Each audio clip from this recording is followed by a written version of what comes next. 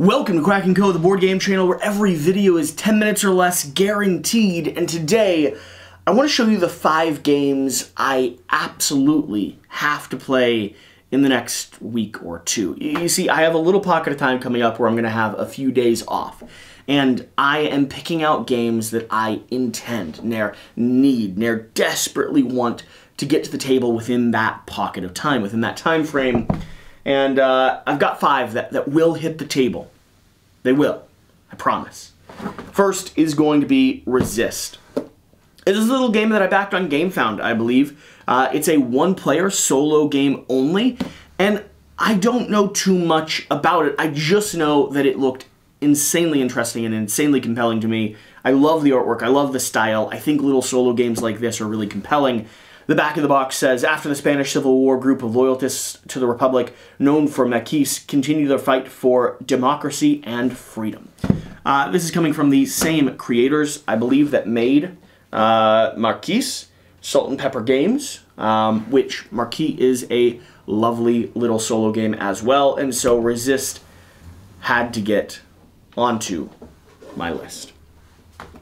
I just got in Mutant Genesis from Marvel Champions. Marvel Champions is probably my single favorite uh, living card game in existence right now. I love customizing the character packs. I have not played it as much as I should, and now that we have another expansion that has come in, I just need to go ahead and find the time to dig into this and dig into this fast. I want to be able to talk about it and cover it on the channel or do little strategy guides and character pack updates here in Quack & Co. Not entirely sure yet, but I am insanely excited. We have Oathsworn. Oathsworn is a game Shira and I have been playing through off camera, uh, but this week is going to start our official campaign on camera, which we're very excited about. We're enjoying the heck out of the game, uh, and, and we're excited to show this off. The creatures and the way that the story starts to unfold is absolutely mind-blowing.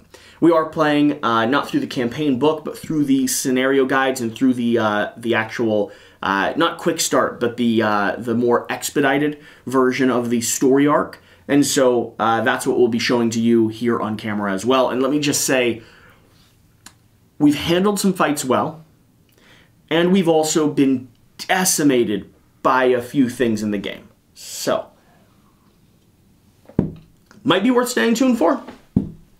Just maybe. The next thing that I will be diving through is going to be Vampire the Masquerade chapters. Now, we have already started digging into this. I played the prototype back in the day.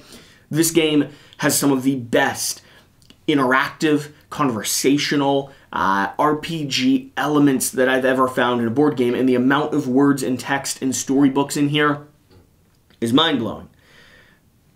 Vampire the Masquerade chapters is going to be hitting the, the table. I'm planning on starting by playing through all of the character profiles, the like six prologues or nine prologues they have, and then seeing where we go from there. I want to start cutting in to the main core game, watch the story unfold, and bring you all coverage throughout October. We're going to have some gameplay depending on the amount of interest and level of engagement we have on those videos. We'll continue escalating continue bringing you more content.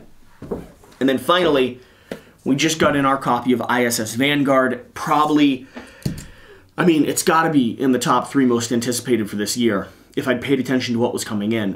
Uh, I am insanely excited to start digging through this. I think West and I are going to actually do this campaign, so it might be slightly more than uh, a week um, before we actually dig into this together, but I will be reading the rulebook. I'll be setting up the prologue mission. I will prepare it, be preparing ourselves for an exploration and a journey like you've never seen before in a board game. If you all watched that original uh, video that I did with Alex back in the day of the prototype, where we got decimated, where we got annihilated, where uh, I killed an entire organic civilization of creatures, uh, you'll you'll know what I'm talking about. So these are the five games that I absolutely will be playing over the course of the next week, week and a half ish. What do you want to hear coverage or feedback on? What are you the most excited about? And what yourselves are you going to be making sure you get to the table? What are you playing in the next week or two? And make a commitment to it. Like, lock it down. I don't know. Put the rule book on your face until you read it. It's not a good plan. It's early. I'm tired. and I should go start reading through these rule books because there's three campaign games here uh, and uh, four campaign games here. That's a lot of gameplay to do. Bye.